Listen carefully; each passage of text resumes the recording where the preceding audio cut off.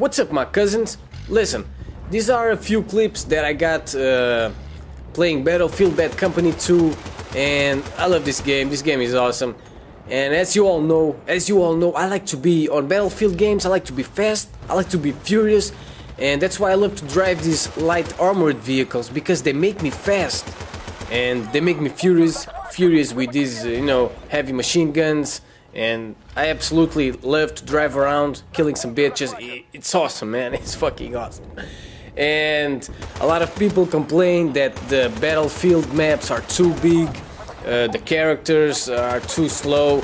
And listen, this game has vehicles, and the vehicles are there to be used. You just gotta find your own vehicle, your favorite vehicle. And in this case, my favorite vehicle is the the light armored vehicles but you also have tanks, you also have quad bikes, at least on Bad Company 2, you have jets, uh, you have helicopters, you have tanks, you have boats. You can't just gun on gun on this game, you can't just run around gunning, running and gunning. This ain't Call of Duty, son.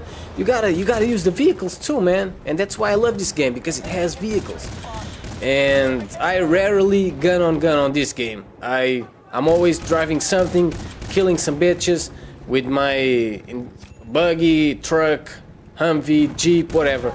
And that's that's what I do, people. I, I absolutely love to do that. And do not listen.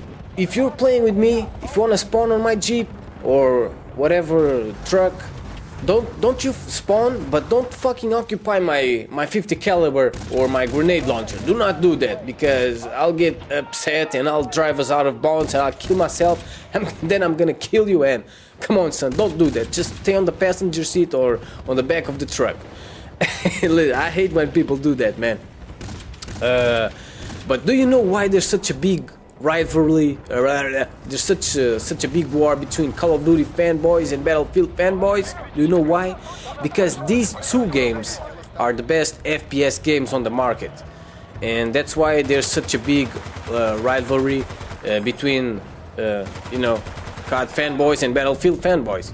You don't you don't hear about wars between Halo fanboys and uh, Medal of Honor fanboys or Killzone or uh, Mag or Crysis or uh, you know Gotham Impostors whatever that little game is. You don't you don't see that because these two games, COD and Battlefield, are the best on the market. And yeah, listen, you want to choose sides? Go ahead, choose sides. I prefer to to enjoy both games. But I understand, man. You can't be a Real Madrid fan and a Barca fan at the same time. So, you know, I understand you guys. I understand you.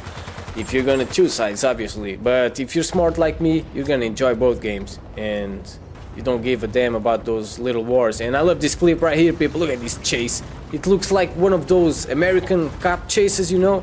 Chasing those those bandits on the highways.